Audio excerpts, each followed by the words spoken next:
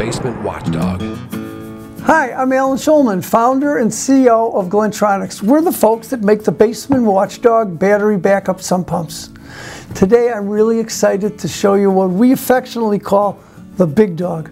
This is the top of the line of our system, so we have a good, better, best selection, and this is the best.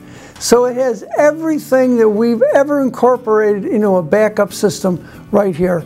The key to all of our backups, the original premise when I created these over 30 years ago, is that they, yeah, they have to monitor and tell you what to do. Now, all the components and the circuitries have changed over the years to the latest technology, but they still tell you the same things you need to know. All of my monitoring features they have an audible alarm, so when you're home, you hear it, turn down the basement, you say, what's going on?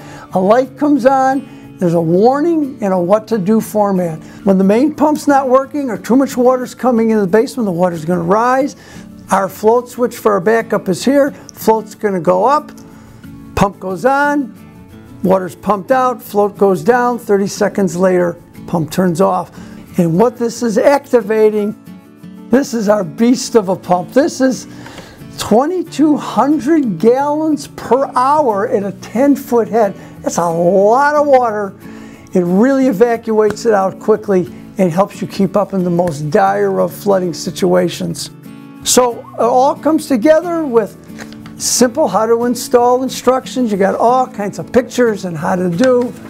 Uh, a, a relatively easy installation. One of the neat things about the system is it's customizable. You can add our Wi-Fi controller. You just connect this to the brains here of the uh, Big Dog controller and it sends you a message on your phone. Protect your basement. Systems are available at hardware stores, home centers everywhere, online. Check it out. Protect your basement. Feel safe. Get a basement watchdog. The Basement Watchdog, watching out for you. Visit us at basementwatchdog.com to learn more.